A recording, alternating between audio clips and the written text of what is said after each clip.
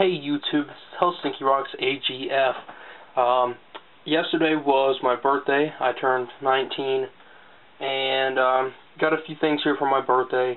Uh, earlier in the month I got Portal 2 which was like an early birthday present from my mom. And then my Xbox 360 and all my games were a present to myself. But uh, I'm going to start off here with some stuff I didn't get for my birthday. Uh, this is just some stuff that my girlfriend bought here, which is Blue Dragon for the Xbox 360. And Sims Busting Out for the PlayStation 2. Um, my girlfriend actually bought me some games for my birthday. Just start off here with uh, some of these. A complete copy of Gran Turismo 2 for the PlayStation 1 the greatest hits copy, obviously. We got some an original Xbox game here, Star Wars Battlefront.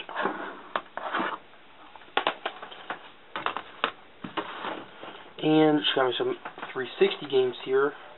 Moto GP 2006, Project Gotham Racing 4, which I just beat the third one, and I'm really excited about playing the fourth one and Sonic 2006.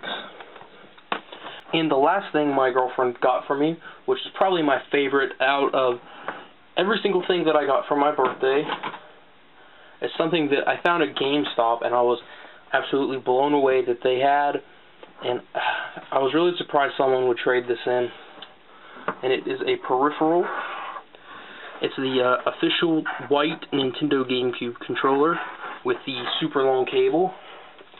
This was only available in Japan um, through Play Asia, where it retailed for $28 and had about $11 shipping. So this is a $39 controller, and I got this at GameStop for $14.99, which is incredibly awesome. I mean, Amazon sold them, um, you know, for 30 bucks. You could import them from Amazon.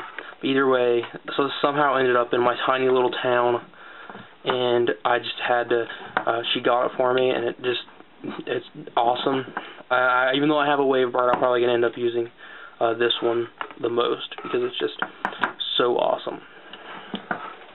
And then lastly, I bought uh, two games for myself, both for the PlayStation 2. This one's Outrun 2006 Coast to Coast uh, with a slightly sun-faded cover. I got this from a rental place. Uh, it's even like it says return, and then it's got like a sticker on the disc, but yeah. But you know, I, I only paid um, $3 for this, so I'm not going to complain too much about this one. And then at GameStop, I picked up Need for Speed Hot Pursuit 2.